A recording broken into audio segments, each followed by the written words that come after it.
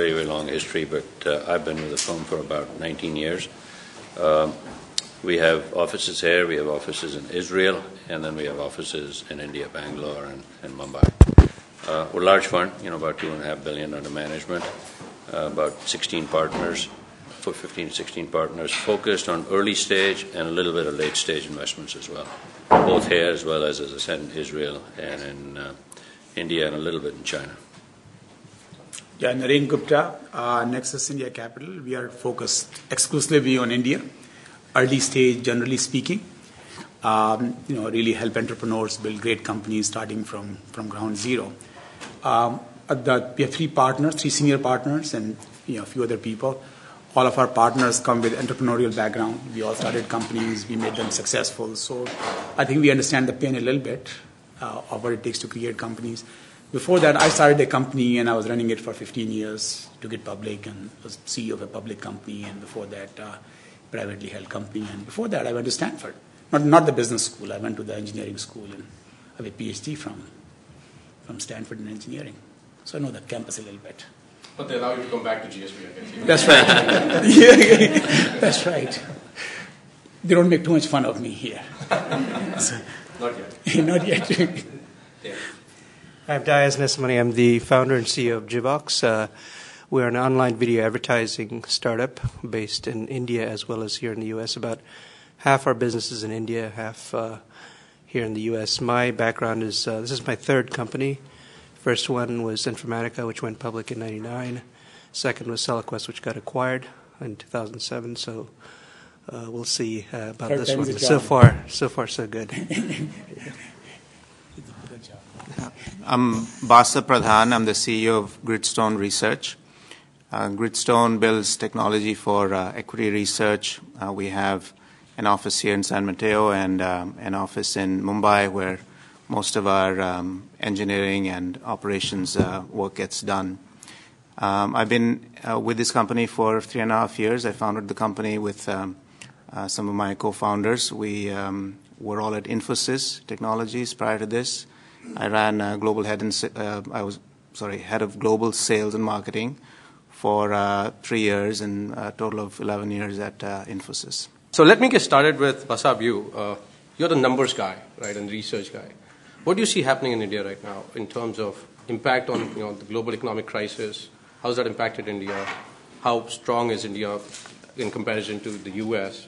And maybe if you know if you like, you know, chime in with China, you know, comparisons to China.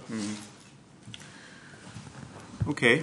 Uh, so out here, um, I guess you don't need uh, any uh, further information on what's going on here. If you read the papers, it's uh, it's all about you know job losses and the the, the market hitting a 12-year low and so on. Um, in India, eh, if you if you look at the markets, it, they they went down um, sh- more sharply compared to to the to the index here. Uh, but actually, it's, it's currently 20% up from its lows.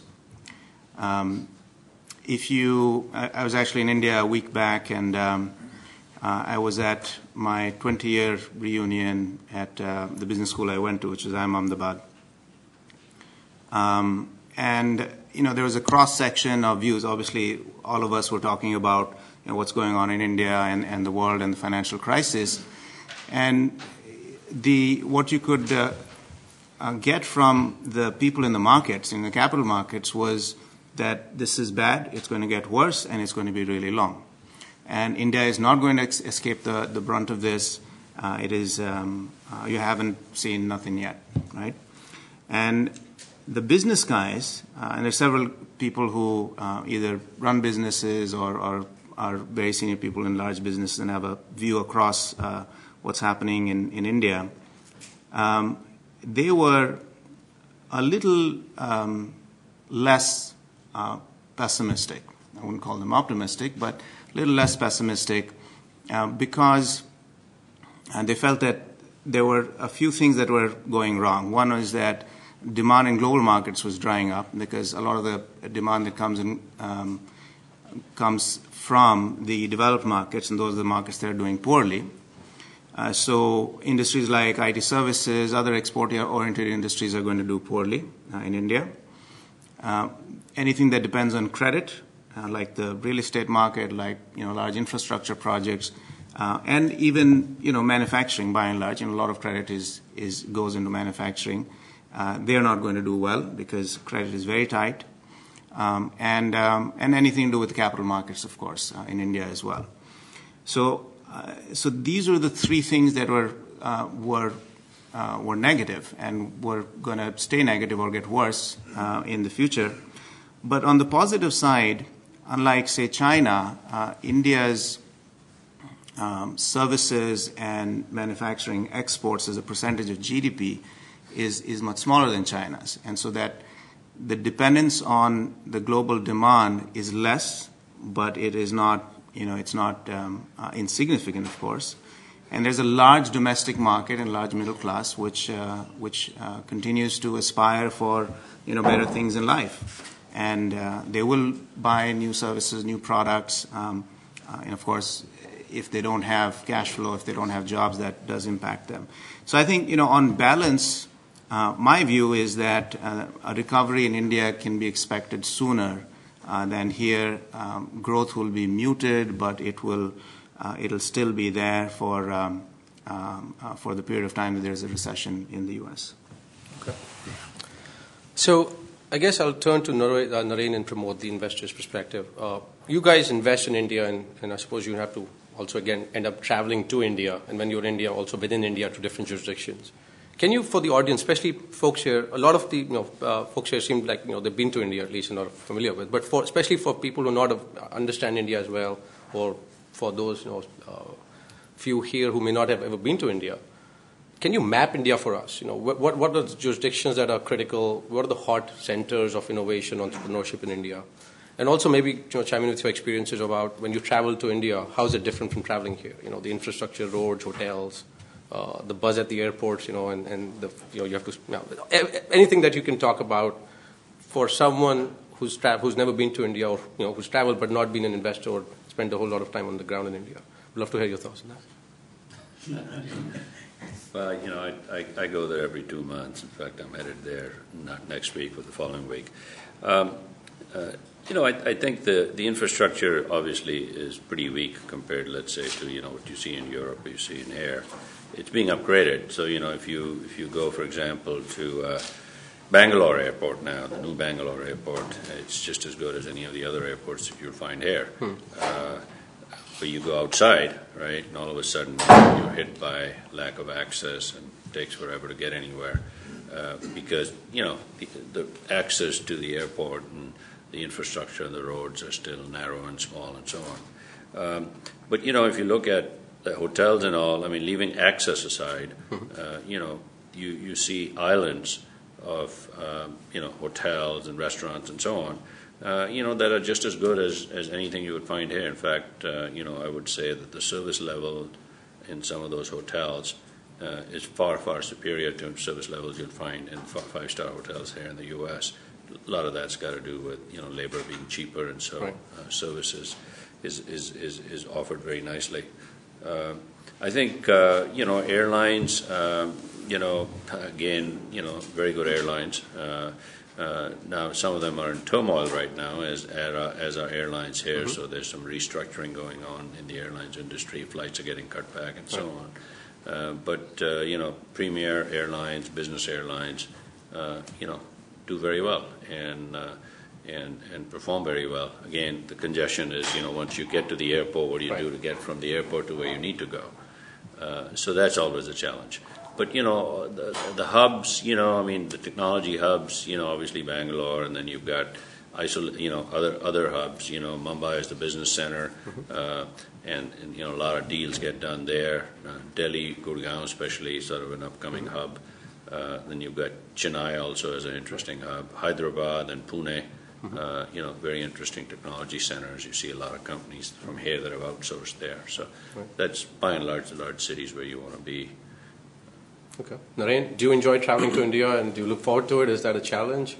well, you can talk about, you know, as lack of running water in the bathrooms at airports to the actual, you know, and I tell this to a lot of people, you know, the buzz at the airport. You know, if you want to see what's happening in India, even though you're standing in a big line, it's so exciting. You know, people on the blackberries, they're doing deals, you know, while there. So, you know, any, anything from the extremes uh, that you Well, I think of. I think traveling to India is a bit harder than flying to New York or flying to Los Angeles. And I, you know, first of all, there is no nonstop from here, which always sort of bugs me a little bit. But you know, that's the way it is. I guess I wish I was in New York so I could take a nonstop to to India. But I don't think that really is a issue from my point of view. You know, I think like Pramod said, you know, we end up traveling to India quite frequently. It is just the way it is. I think outside, once you are in India, it's a bigger problem. I mean, it can take longer to go from you know the airport in Bombay to our office, which is maybe eight miles away, than to fly from Bombay to Delhi, Right. which is a thousand miles or eight hundred miles. You know, so I think I think you can't have that kind of stuff bother you at all. Right. I mean, I, it doesn't bother me even in the least. But you should be prepared for it. You should be prepared for it. And not complain and be patient. That's right. it- No, I mean, patient. And your service levels once you reach the hotels are absolutely as promotes are fantastic. I don't think that really, really, you know, really bothers bothers me. I think the thing that that is problematic is the is the is the pain our companies suffer because of the infrastructure. Real estate is very expensive to start to rent offices, good offices, very expensive. They're commuting on those roads every day, wasting two hours of their time. And that's what really bugs me a lot, is that there, a lot of productivity is being wasted because they are doing it every day. We do it once in a while. It's not the end of the world. But uh, so I, I would say definitely productivity in India can be lower because of the infrastructure issues. I think a lot of it's the, how the culture, local culture deals with it also. I'll sort of give you kind of a number, very interesting. You know, I try to do an analysis of what goes on in India in different places. And I was in Bombay for about six weeks, a year and a half back. And, and you know, I started to say how many meetings start on time. It's like 85% or 90% meetings in Bombay start on time. In Delhi, the number is 20%. Possibly. I think it's, a, it's, a, it's sort of, you know, very, the India is very uniform in many ways, but also very different in many, many respects. So, you know, I think you're going to, you just got to deal with, with that stuff. But to me, the biggest issue is the productivity. How does it impact the productivity of a common person in India because of poor infrastructure? And I don't think that really affects innovation or anything like that. People, people work around it. I wouldn't worry about that stuff. It's Yeah, bad, but I wouldn't worry It's about part it. of being an entrepreneur, part, of, part of being an entrepreneur. So. I guess let me use that to lead into another discussion, which is more substantive about lack of ecosystem for entrepreneurship as such. You know, we typically, you know, folks from Stanford, especially people, some of people here would, you know, two, two guys and a dog in a garage, you know, would go out, set something up, bootstrap for a little bit, go to their friends, family, raise a bit of angel rounds, uh, get mentors, service providers, lawyers, you know, doing free, you know, work for free or deferrals, uh, other advisors, the whole info- ecosystem as we understand it. How much of that is really available or set up in India? And is Bangalore truly, you know, the Silicon Valley in that respect? Well, I would argue that Bangalore is not Silicon Valley, and the whole India is Silicon Valley, because there's as much innovation in Delhi or Bombay, and different sort of areas have kind of concentrated around various things. Bombay is sort of the center of innovation in the consumer product space and media and financial services and so on. Bangalore clearly, you know, pure technology. So I, I would say that that is India is a is a sort of a, there is innovation all across. I, I don't think it really matters greatly where you are. It matters some, but not greatly. I think the the in a way I like you know what Pramod said is Pune is a good place, Chennai is a good place, Hyderabad is a good place in many res- for many kind of companies because the housing costs are low. Mm-hmm. And it's just too expensive to live in Bombay for anybody and live near the, the, the work, you know. So it, I think that's the kind of things that, that, that really I would sort of think of in terms of what might create the next sort of a center. But it's much more likely to India is a small country, as probably most of you know. You can fly across India in two and a half hours or something like that. And up and down, maybe three hours, you know. So it's not really that, that big a deal. See, you know, so I, I, I would sort of really say that, you know, D- Diaz, what would you say? You know, if you're an entrepreneur starting up, compare that, you know, entrepreneur starting up in the valley to someone starting in, especially for you know technology startup sort of you know business. Uh, how is it different and what's available in India? It was interesting when we uh, went to India to look at uh, where to start. You know, I talked to a lot of people, and I got as many opinions as you know the number of people I met. And I think they were all right in different ways. It depends. If you're looking for the lowest cost labor, you know, some people say go to Coimbatore, don't go to you know Chennai, Bangalore, uh, Bombay, and so on. uh, if you're looking, if you're outsourcing, meaning you're is sort of a, setting up a call center or some sort of lower skill level operation, those cities are great. Uh, so I, it took me some time to truly understand what they were saying, and you know we ended up picking Bangalore as as a you know because our goal is to uh, develop hardcore technology, and we felt like the best talent for that was in Bangalore. We also wanted to have some basic infrastructure that could help the company get up and running. So we picked it. You know, I don't know if it was the best choice in the long run. In fact, we're thinking as we grow, we may set up a satellite in Pune or something like that for as as we add more and more people. So I think um, you know the major hubs are generally very good. I think the differences are uh, getting to be minimal now in terms of infrastructure. Um, expenses, for example, we found uh, at least this was, um, say, a year and a half ago, I looked at the office prices between these cities, and there were marginal differences. Really?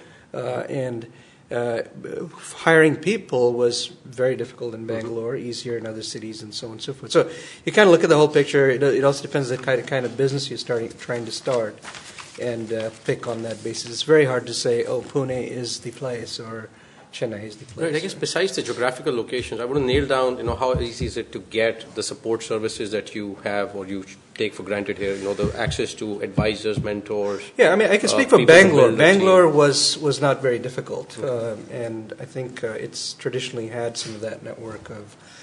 Uh, with its law firm, accounting, you know, uh, venture capital, investors, et cetera, et cetera. So we didn't have a very difficult time setting up, but you know, I don't know. If you guys might know a little bit more about some of No, those. I would- It's generally available. Okay. Those four or five cities that we talked about, you know, this, you know, infrastructure is available, services are available, you know, service providers, attorneys. So you could be from an IIT or IIM and do a plug and play sort of, you know, work and get, get started. Pretty quickly. You know, one thing I was going to say about that, you know, if you look at statistics in the US, most company people, entrepreneurs start businesses within 10 miles of their house. That's just, just the numbers. You know, I mean, you don't want to uproot your family and stuff like that, and just it doesn't really matter that much. It matters some. Particularly now, it matters more because Silicon Valley has become the center of it. But make yourself convenient, make it convenient for yourself. Don't uproot your families. Don't you know cause yourself too much pain. You know, you have plenty of pain starting the company and running the company anyway. You start up anyway. So I, my advice is, I wouldn't worry about that. Just just do it, make it convenient for yourself. Okay. You know. Okay, I guess back to the investors then. And I've heard, you know, different versions from entrepreneurs and investors, but in terms of availability of early stage investments, uh, investors, I think, say that there aren't as many early stage opportunities. Entrepreneurs say there aren't as many capital is not as accessible in India for early stage sort of. Is this a chicken and egg? I mean, how do you get started in early stage? You know, what should come first? Should investors set up money and have they for investments and have some commitment that will drive innovation and get more people to start early stage companies and start at the scratch? Or is it that you need to show some success, you know, with companies that, you know, the Googles, and then to be able to get that Well, whole I, ecosystem I would say that both sides have certain amount of fault. I think a lot of the people in India come to us with a, with a quote unquote business plan. I would say they're not, they don't really understand what it takes to get a company funded as a seed company funded. I mean, we are looking for companies that are going to scale to large sizes. We're not looking for somebody, you know, running a small business that produces cash flow. That's not really the kind of things we do. And I think what, why that is affected is that there are not enough what I would call smart angels in India. People, you know, I mean, I know when I started a company in the US, I called four people and said, hey, this is what I'm planning to do. What do you think? And within an hour or two, you know, you get decent advice. Maybe not perfect. I mean, definitely not perfect, but you get some advice on, hey, you know, you should do this or not that or whatever. So I think I think that is really to me the key is people entrepreneurs can go to before they come to us. Mm-hmm. Because I mean we are we are tough. You know we're going to be tough. We're going to ask And, them and that's not different from what they should do here. right? Absolutely, They should do, it. all, yeah, do it right. here. But most of the people in Silicon Valley, if they don't know five people who can give them advice, they're not good entrepreneurs anyway. I would say, you know, you can call your friends and friends' friend and somebody, you know, everybody I know know somebody who's sort of, you know, can put them in contact with somebody. So you know, so I think that's kind of the way I would look at it. I think having smart, thoughtful angels, people can go to, open their kimono, discuss their idea, ask for honest feedback. I think would be very valuable in India, and that doesn't exist. People come to us sometimes and we say, you know, look, we can give you advice, we can't fund you right now. You know, you really need to polish up your thinking. So I, I would say it's a chicken and egg. You know, maybe more angels will come around once there are more successes and so on. So I, I would sort of put it that way. I would say both sides. I, I think both sides are to blame from what is happening. Pramod, your thoughts on that? Yeah, I think it's, you know, it's a little bit of both. Uh, You know, I mean, I'll give you an example of, you know, uh, from an investor perspective, you know, give you uh, a real case study in two minutes. You know, we, we got interested some years ago, two years ago, three years ago, in the travel industry, online travel industry in India.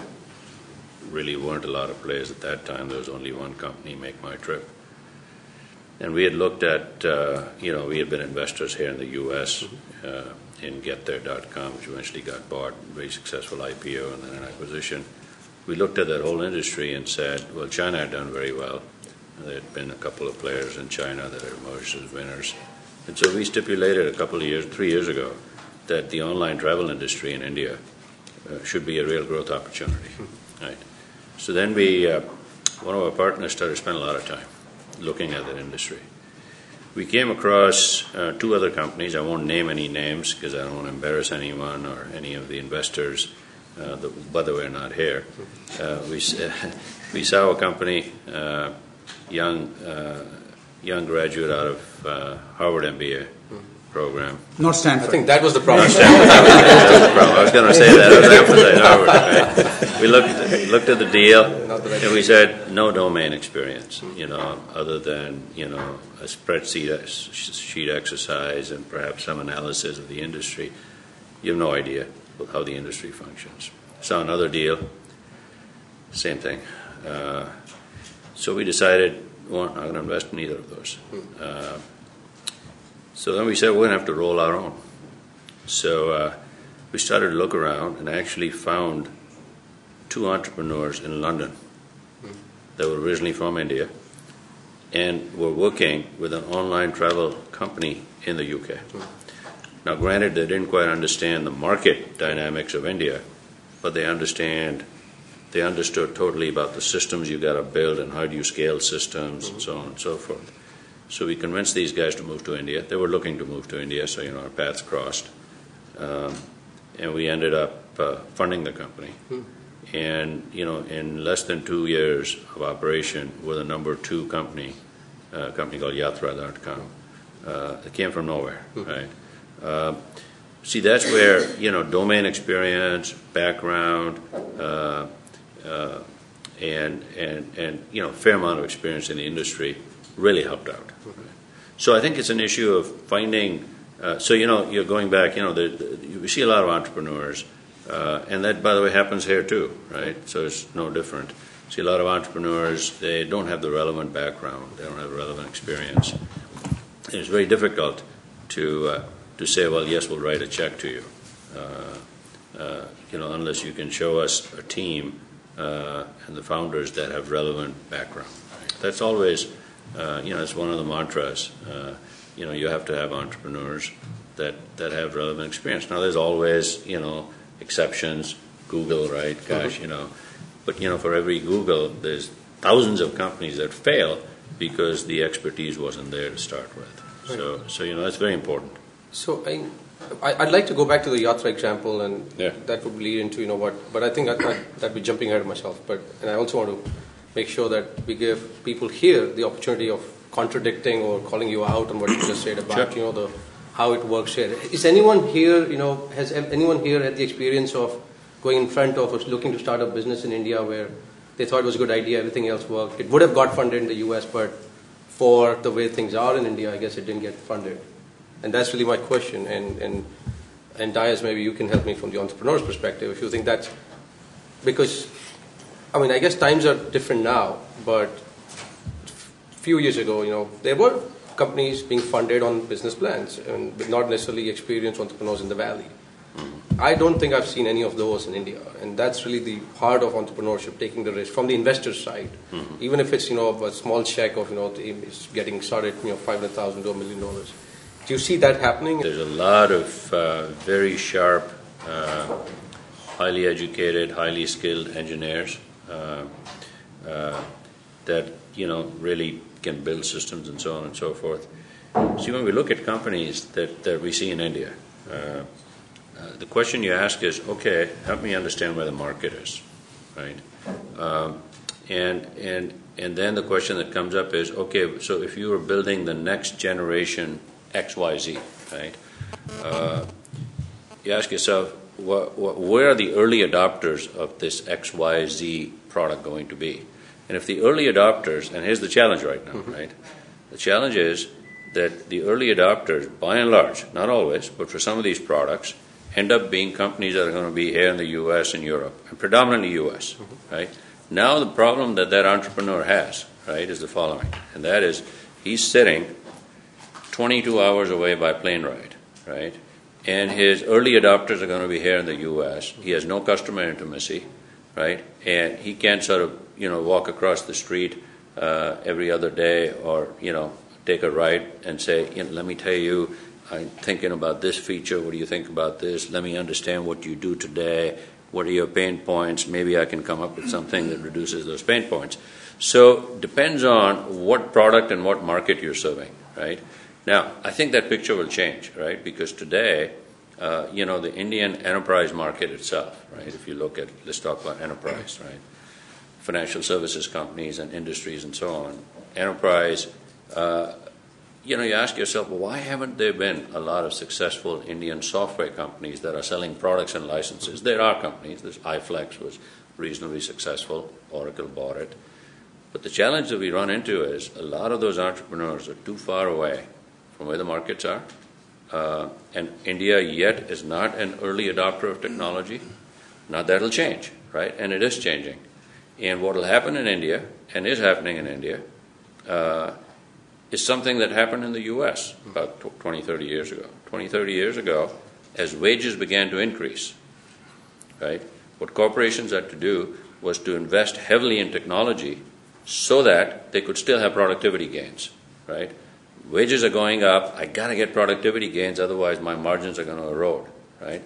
Now, India's had the same problem, right? I mean, you hear about wages escalating, and you know they've slowed down a little bit, but you know they'll they'll pick up again because they too have a finite supply of, of engineers, you know, quality engineers and so on. So I think as India, over a period of time, as Indian enterprises start to become early adopters of technology, and they are becoming early adopters of technology slowly.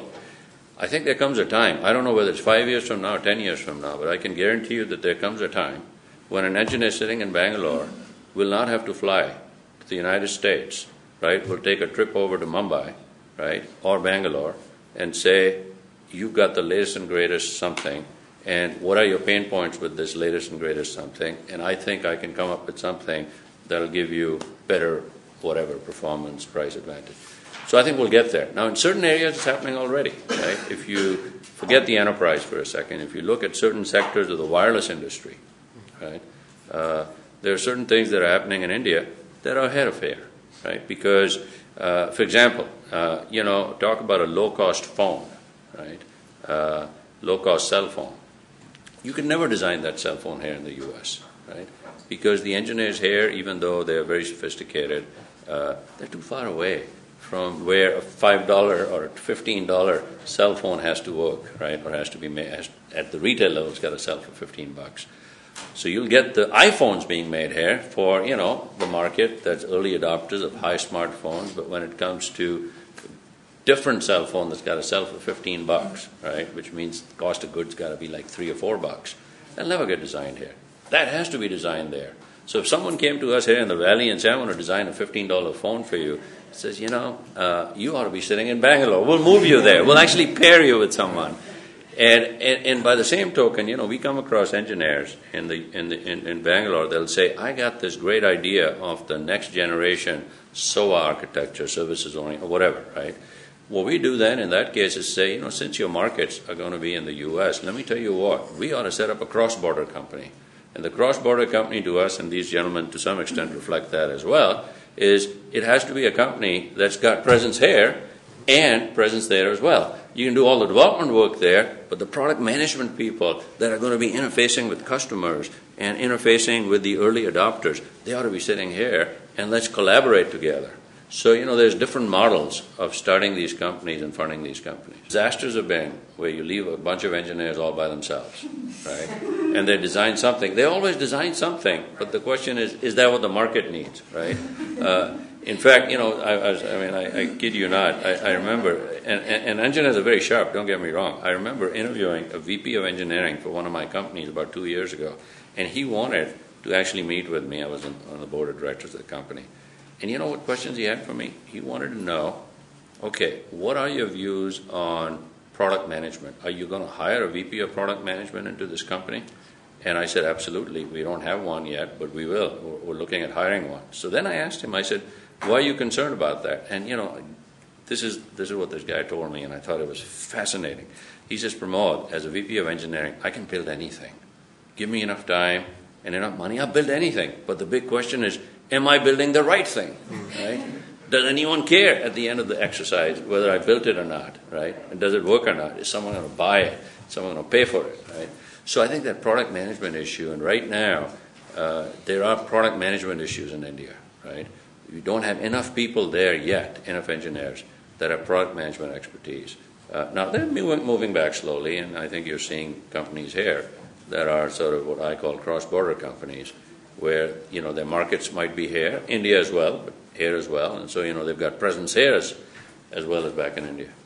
So is it that you say, are you saying that we're not very likely to see a Facebook developing in India, all, because the usership for something like that is more in the US, and then it spreads outside. But you need to. It depends on the industry. Right. Yeah. Dep- depends on the industry. And the challenge in India, right? I mean, the, yeah. the number of computers and access and all of that to at least yeah. get that started. And I think there's another issue here also. I mean, this is sort of more just like there are entrepreneurs in India who are engineers and haven't got the access knowledge of the, their market.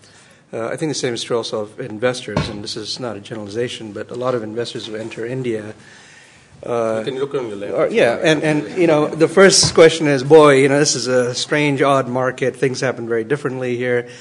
The safe thing to do is find a company that has already got customers, got revenue, got some traction. Better to invest there than to find a guy who walks in my door who's an engineer from IIT and says, "I've got a brilliant idea." Because you know, truth be told, more than just a brilliant idea and some you know engineering expertise, it takes a lot more to build a company, whether in the U.S. or in India.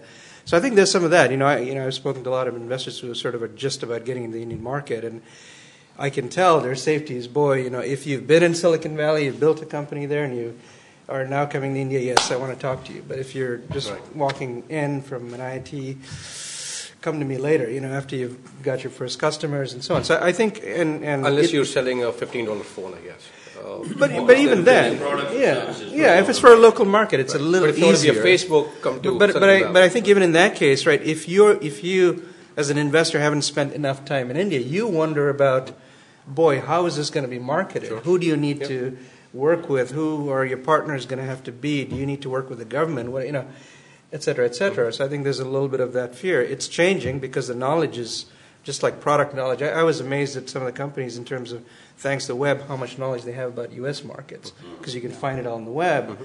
You know, likewise for investors. So I think it's changing, but I think there's a little bit of a problem on both sides right now, which yep. hopefully is getting over. So maybe I want to ask the question about will there be a Facebook coming out of India? Mm-hmm. So I think you have to look at look at it's going to be a company like Skype. Mm-hmm. You know, the, Skype started in Estonia, wherever you know people were all over the place. And I think the, the model was very different. India, the US is not as cost conscious as India is, or Estonia might have been, it made more sense to start a company like Skype because nobody could pay for phone calls, international calls, and so on. You're solving so a problem. You're solving a problem that is typical for that, that situation, but that can be taken worldwide. You know, so I think that that's, that's the kind of let's say mobile, mobile money money transfer or, or you know payments. Mm-hmm. Nobody's going to start a company in the U.S. to do that. I mean, it's too easy to have credit. Everybody has credit cards and so on, but in India, nobody has credit cards. So maybe it makes sense to start a company there. It can get a big market share because people don't have credit cards. So I mean, that's just one example. But the challenge would be to grow that and expand that to the US because but then there isn't as much of a market. Yeah, you don't have a global company coming out. exactly. So you know, you could ultimately it would be convenient to to be able to wave your phone mm-hmm. and make your groceries, you know, payment. Or you know your Starbucks coffee payment right. with waving it rather than taking the cash out of your pocket or using a credit card, mm-hmm. but it's not going to happen here right. because it's too easy. Too many there are too many credit cards here. Right. So I think you have to think very differently in India And I do believe that, well, Facebook is a bad example since, you know, everybody's kind of shooting at them these days. But let's say, Twitter. you know, Twitter, I guess, whatever, yeah, you know, eBay or whatever, or Facebook anyway. So I think a company like that will come out of India, but it won't look anything like Facebook. Mm-hmm. It'll be very different. It'll be a very different company. So and, that's- and Pramod is funding some of those companies. You know, we are funding some of those companies as well. It's going to be different. The, the big thing in India is what I say is business model innovation. How do you do something at a lower cost and provide better, uh, higher quality service? So I guess higher to summarize product? that discussion, I guess, I mean, if you're And see, looking to again, set something. See, not, not every company that gets started in India is going to have a product or service that's relevant here. Right. Absolutely. And neither should we. You know, you, don't, you don't sit there and say, well, you know, well, you got it, it's working in India, now we got to go to the U.S. Why? I mean, the Indian market's large enough. We have a company, uh, you know, you talk about Facebook, it's not a Facebook, but it's somewhat, you know, in an adjacent space. It's a company called Sulekha, right? Uh, Sulekha is a sort of an online portal. You go there. It's, it's very good for yellow pages and classifieds. Mm-hmm. Now, India's got a real problem. You know, you don't have really efficient mm-hmm. yellow pages. Small businesses, you know, uh, don't have yellow pages and so on, as you and I know them here in the mm-hmm. U.S. And so they they serve a local need, right? Which, and so that model would never work here in the U.S. There is no need for that kind of a model, but it's got tremendous need in India. And so you know they're focused on that market. And, and, and so it's like that $15 cell phone, right? No need for it here, but gosh, absolute tremendous need for. So, you know, so it's a localized business model that probably applies only to that part of the world, maybe China and so on, but just focus. So I guess to summarize that discussion, I mean, if you're someone starting to, looking to start a business in India, be careful of what the market is, you know, focus on the market Right, and yeah. don't try what's to. your, what, what's your service, or product, Right. and what's your market, Right. right? And do you have relevant expertise both on the product side, management, product management, and marketing side, as well as the engineering side, to be able to go address that market? And to be sure, I want to give credit to investors also, you know, guy, folks like yourselves who are doing good stuff in India. I mean, uh, is a good example, Yatra is another good example. These are companies that probably would not have got funded in the U.S. because you know there is a dearth, you know there is no dearth of you know the ad networks or online business travels. But Yeah, if you right. can structure it for Yeah. something, you know, cut and paste what works Yeah, here, and, and it would have been stupid to start a travel company for India based here, Right, I mean, like, right. you know, come on, give me a But break. if you structure it well, then that you're more Right. likely to act. And if you have good quality products or technology and team, Yeah. then and obviously it goes hand in hand with understanding the market. But then you're likely to get you know make it really successful for the Indian market, which itself is growing. Right. So that could be a good sound business model. You know, it operates differently in India, and Pramod can tell you all the differences compared to the US. You can't just copy Right. Expedia and move it to India. It's going to be a failure. And I think, and I think that is the key. Is that you, know, you I mean, for us investing in India, since that's all we do, the model, you know, you learn from the US, and you learn more of what you should not do from the US, rather than learn what you do from the US.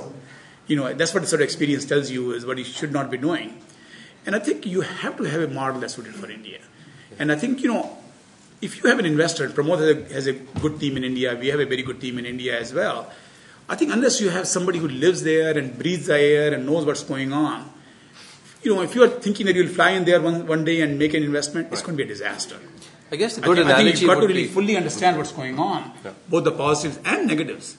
India has a lot of risks and all kind of things Right. that you don't even think about here.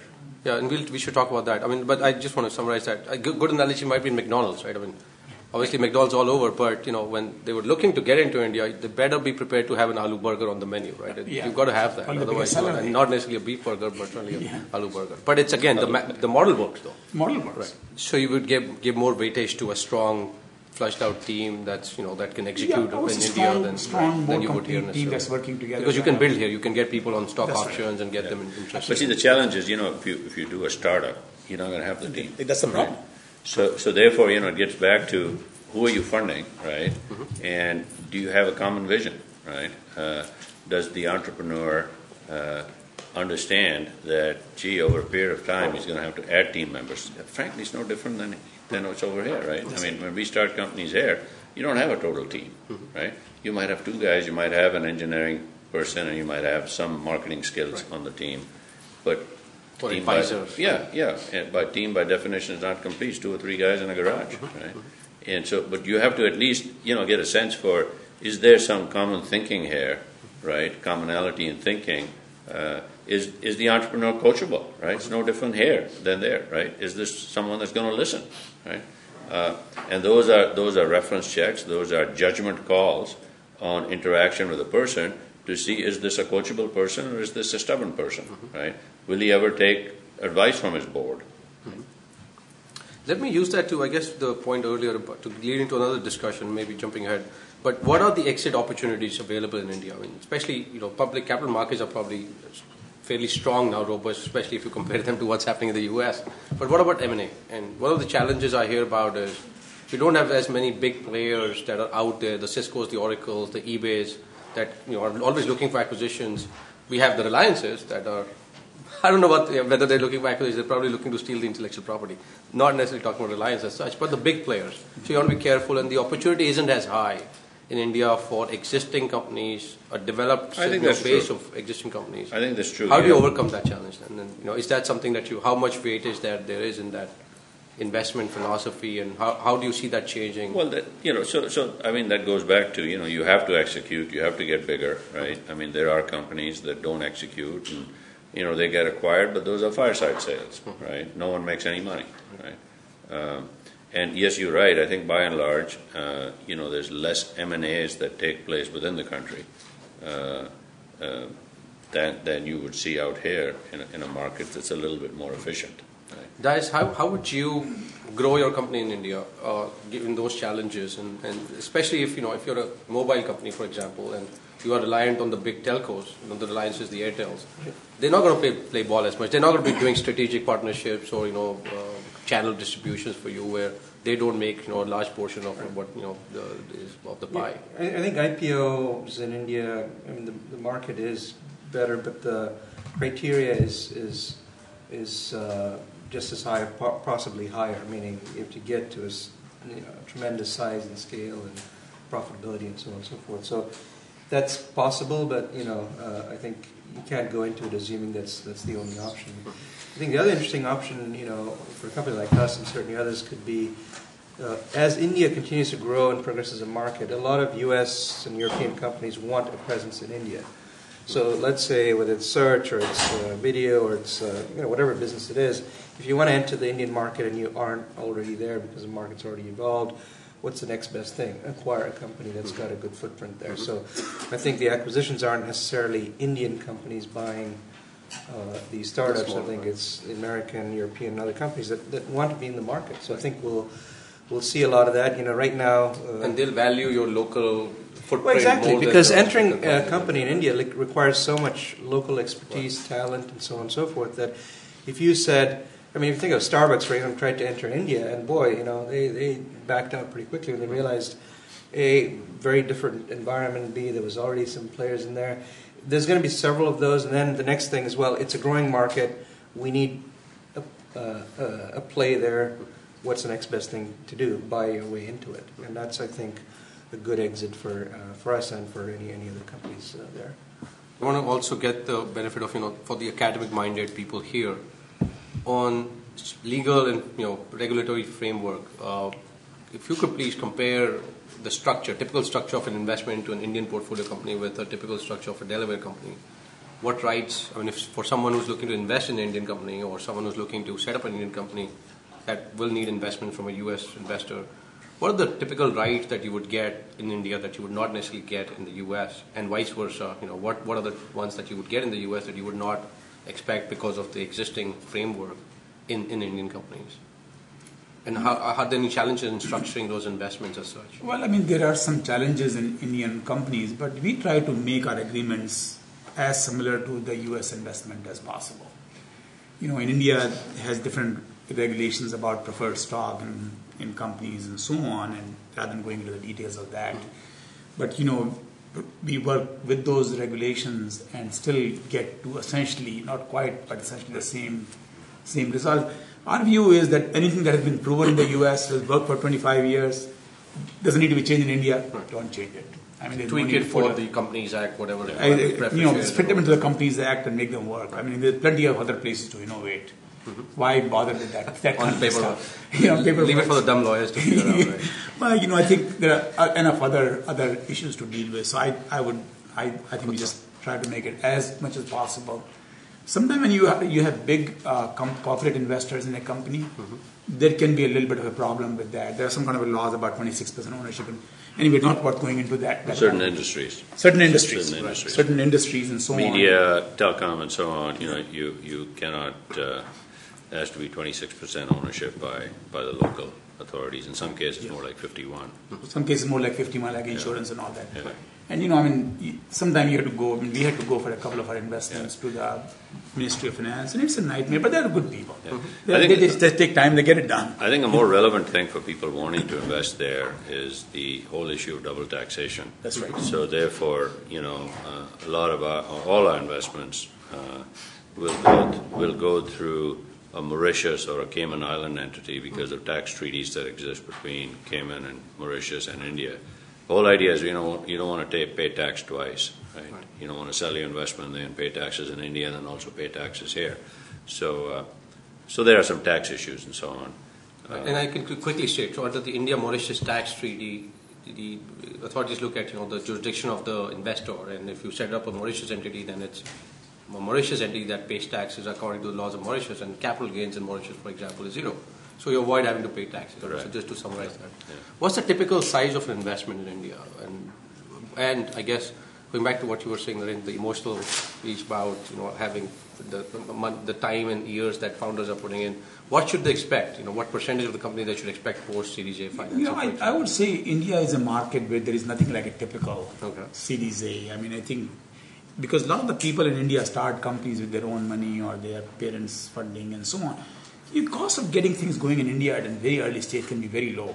Mm-hmm. You know, so so I think I I would say that our Series A investments vary over a very wide range, hmm. from a million dollars to ten million dollars, and it depends on on what the company needs, what does it need to do to operate in the next 12, 18, 24 months, what, what is, what really makes sense, and so on. I mean, we really focus on, of course, returns for ourselves, but also having a significant ownership for the entrepreneurs, because we, we believe that's good for us. Obviously, that entrepreneurs have big ownership, and sometimes raising too much money can be detrimental to the to the entrepreneurs. So you want to raise the right amount of money. It, there is a bigger variation than there might be in the US, but I think the US is also getting well.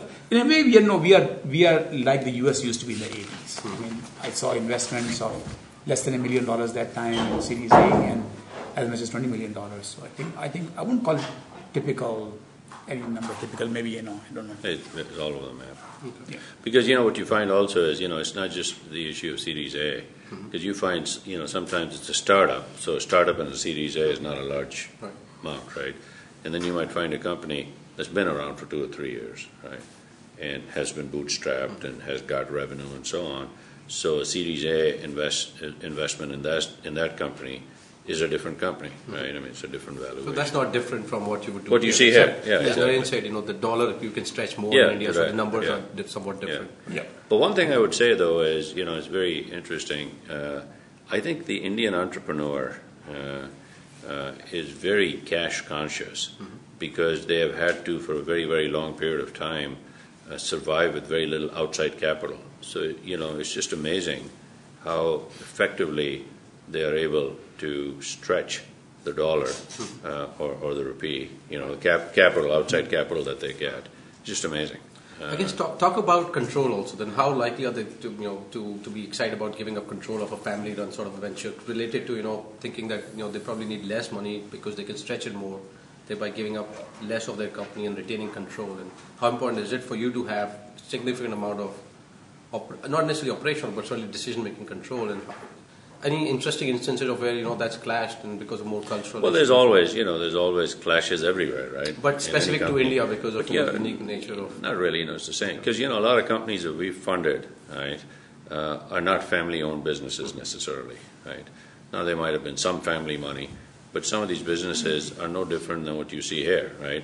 Two or three entrepreneurs get together, you know, there might be friends, there might be business associates from the past, and, and uh, you know, we just funded a company which is a group of people that came out of Infosys, in fact, the Finacle guys, right? Is that Uh, so? Patty and all those guys, you probably know those guys, Yeah. Patty and Ranga and so on, right? Uh, so, you know, these are not family. Now, they had their own money in there, Right. absolutely. For two years, three years, they put their own money, right?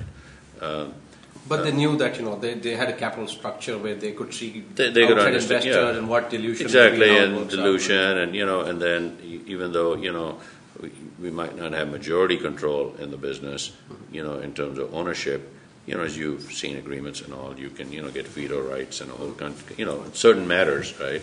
Uh, that are genuine, right, where you, you, you- you really need to have a, a common understanding, right, and a, and a, and a, and a unified understanding, so you can't do acquisition unless everyone agrees, you can't take on debt unless everyone agrees, you know, which is no different than the kinds of governance you would have here in Series A deals, right? So I guess that leads me to the question, but you, maybe you've answered that already. And I'll Now, there, go. now there are some family-owned are- businesses, right, right? okay. And, and, you know, some of the later stage deals that we see are family-owned businesses, Mm-hmm. right? And it's a nightmare dealing with those. Uh, Can you name names? Or? No, again, I, I How think, about, I, I uh, think it's absolutely. I think the later stage family-owned business. no different than family-owned businesses here, Sure, Yeah. right? I mean, go talk to TA and Spectrum and so on that do investments in later stage companies here in the U.S. that have been bootstrapped, right? And you're the first money going into a company that's 50, 60 million in revenue, and the founder owns 99 percent, Mm-hmm. right? Well, uh, you know, same issues. Right. So you take use you wear the same hat. Right? Yeah, right, the. Yeah. So I guess I mean, as I was saying, you may have answered this question already, but I'd love to get others also. What are things that entrepreneurs in India can learn from their counterparts here, and so I suppose vice versa, in terms of innovation and how to set things up? Uh, Or are there any things that, or are there any similarities or differences that we can learn from from You know, each I, other? I would say the Indian entrepreneurs, the good thing about the US is people think big. And I think the US, Indian entrepreneurs sometimes don't think big enough. You know, you gotta, you gotta start from a big thinking. And I, know reality may be a little different and you gotta sort of moderate your thinking based on that. But Indian entrepreneurs generally, they, people come to us with a plan, well, I'll have $10 million in revenue in six years. I mean, what do we do with that company? Mm-hmm. It really doesn't make sense for us. It's a great family business. You can produce cash flow, you can live happily ever after. Li- Lifestyle. is- Lifestyle business. so, you know, I think, I think in India, just people don't think, think big enough. You know, that's, second thing I would say is that team building is so critical. And I don't think the Indian entrepreneurs oftentimes understand the importance of team building. You know, it is just so critical to bring in the best people in the company, give them whatever reasonably you have to give them, and so on. I think in the US, we focus on that. We know we think that's really critical. So I think there are few things, many things, you know, that you can you can, and you know, the the US entrepreneurs also have a, a sense of urgency that is sometimes not there in the Indian. But that's a cultural thing, right? But you know, we, we just got to change that because it's not going to work. You know? So I think I think there are a few things. I would say. But le- let me, I just want to add uh, one thing going the other way, which uh, I feel that uh, uh, Indian entrepreneurs do uh, really well, and, and, and you know, knowing you and Pramod have met many, many more than I have. But they, um, they exist and thrive in an environment where there is no reliability on uh, that in the infrastructure. When I say infrastructure, I mean you know you're building a company based on services that you get from other people, other agencies, and you manage to. I mean, just getting a permit from the government, it could take one month, it could take a year, and you have to run a company uh, and avoid the pitfalls of these kinds of things. You're going for a meeting, it could take one hour, it could take half a day. Uh, and, and so you, you manage to work through these kinds of uh, situations. It requires a real tolerance uh, for, uh, you know, otherwise your, you know, your head will explode if you're not used to this stuff. Yeah, I Let think, me- I let think me US, jump on the- US, entrepreneurs can, US entrepreneurs can learn a few things. I think uh, Pramod talked about capital efficiency. I think the US entrepreneurs, by and large, don't understand capital efficiency, how important and how well they can manage with less money. I think I would call it being more adaptive.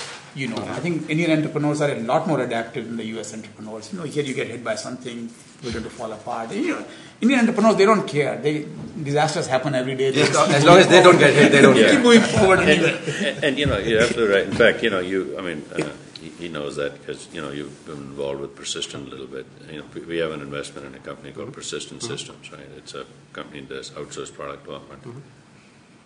They took a million dollars of outside capital initially, and they bootstrapped on a million dollars, right? And we got in, the company is already 35 million in revenue, so we put some money in. They didn't need the money, right? The only reason they said is, well, we'll take money because we want your help, right? And so we'll, we'll take money. But, I mean, now that's a somewhat of a family-owned business, right? Father and son, Right. mostly son, but, you know, father influence and so on. Million dollars, Mm-hmm. right? Yeah. I mean, very hard to find those kinds of businesses, right? You, you try to do those businesses Mm-hmm. here today, gosh, you know, before you know it, well, you know, I need 35 million bucks to get to cash flow break even, and then the 35 ends up being 70, right?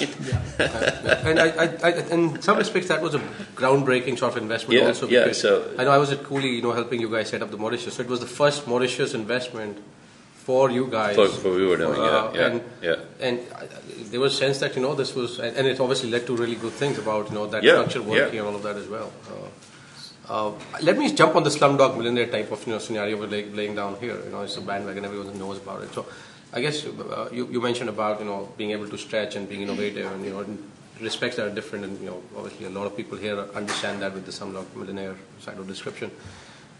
Let me lead that, uh, and, and this is my last question. I'll open it up to you know any other questions. But then you mentioned in our chat earlier, you know, there are this, the D-Light uh, or sunlight, I think, company that you're talking about are there opportunities for investors here or even entrepreneurs to look at those below middle class? Everyone talks about India's middle class, but just below middle class kind of you know opportunities of this teeming you know need and for growth, and they have different needs. You know, it's not necessarily the internet, but the basic lighting system. Yeah. Uh, so can you speak to some yeah, of I think well? D-Light Design, actually it's started by two GSB graduates, Hmm. you know, Sam Goldman, and you probably know them better than you know, we do.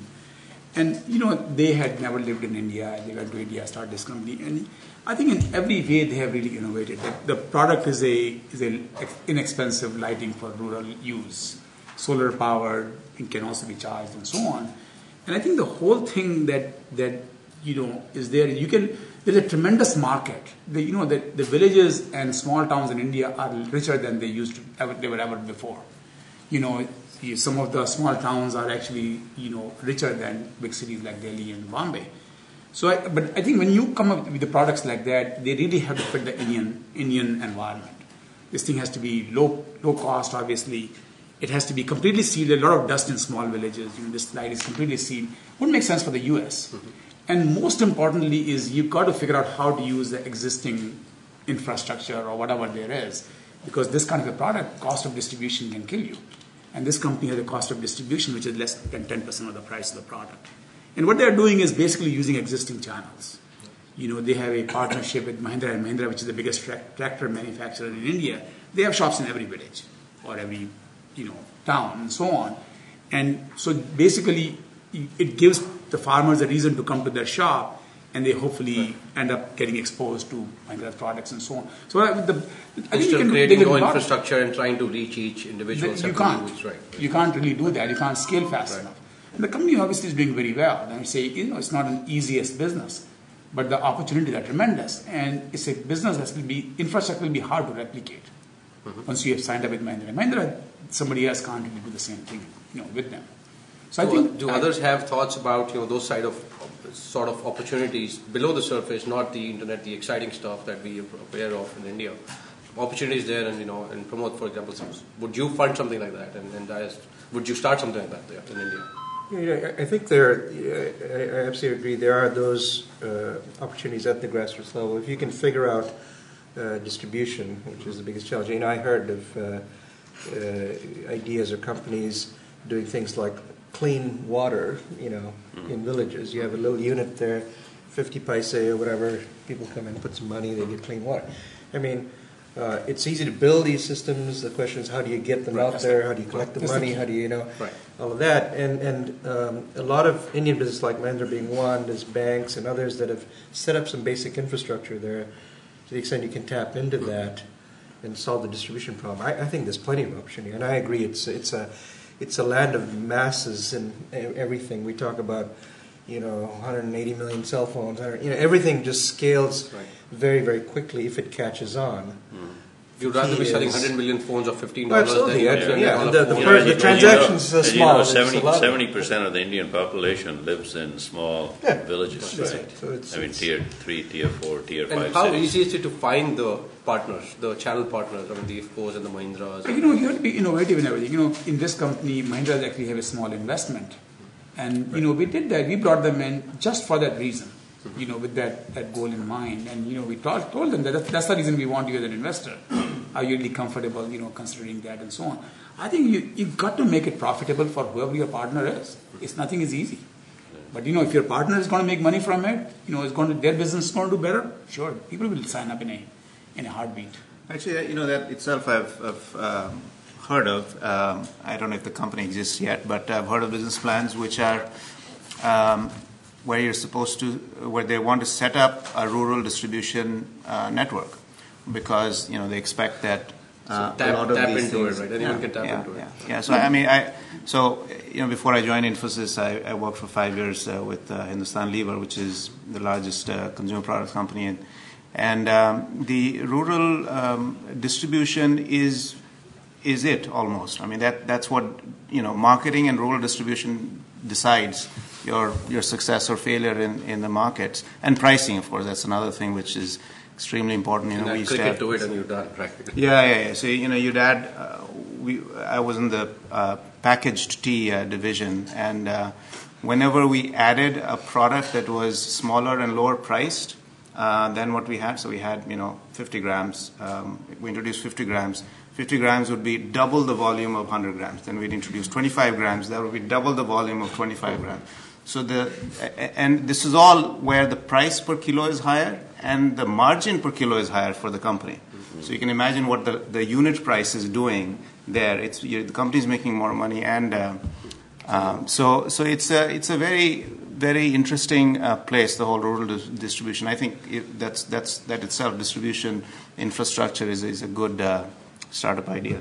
And I don't want to sound too much as a as, as like a VC, but you know you have to know your market and really believe in that market, really. And I can give you an example. I mean, ex GSB students, you know, I started working with them two years ago, and they, the team came came together and they were thinking of doing you know uh, these uh, movie theaters, you know, a chain of movie theaters across India.